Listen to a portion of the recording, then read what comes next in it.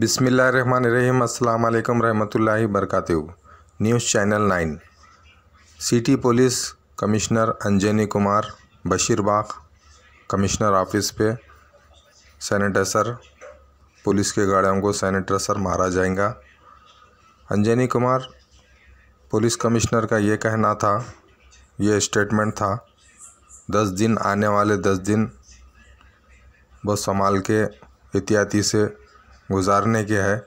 आवाम के ताल्लुक़ से ये कहना था, city police Anjani Kumar sanitizer police की जितने भी गाड़ियाँ हैं और भी दूसरे गाड़ियों को मारना अच्छी चीज़ है ये।